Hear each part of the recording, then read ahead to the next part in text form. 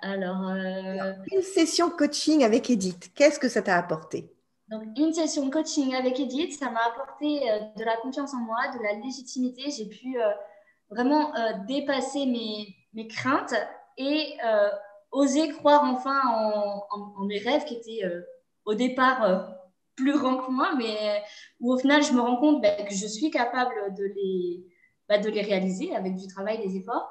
Et euh, ça m'a apporté également une, euh, une, écoute et une sensibilité dont j'avais besoin pour, euh, pour me sentir en phase avec moi-même et me sentir comprise aussi. J'avais vraiment besoin de, de, pouvoir être accompagnée, mentorée et suivie par des, des personnes qui, qui, ont cette sensibilité, cette, cette spiritualité, on peut dire, qui fait que bah, tu te sens compris et écouté.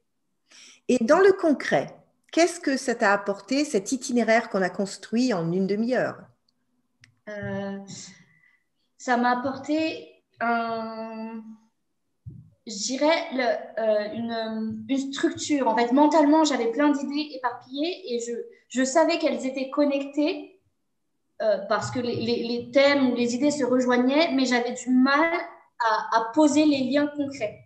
Alors que là, du coup, toutes mes idées, euh, elles sont plus les unes à côté des autres, elles sont euh, organisées, on va dire, chronologiquement avec un ordre. Et moi qui, qui ai besoin de ce cadre et de cette structure, ça me... Je me sens plus légitime. En fait, c'est des idées que j'avais, mais euh, le fait de les réécouter et de les structurer, ça me, ça me guide. Oui, parce que finalement, on a mis en place ton client idéal, son besoin et l'itinéraire du programme que tu veux faire.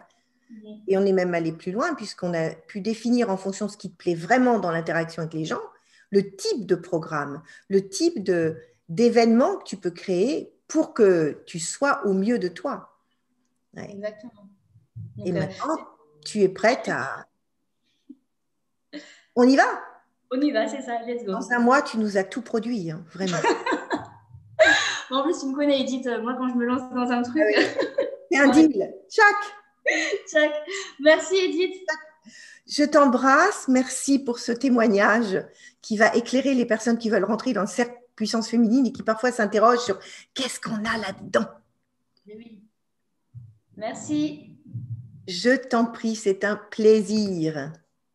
Bonne fin de journée à toi, bon courage pour tout ce que tu dois faire. Oui, oui, oui.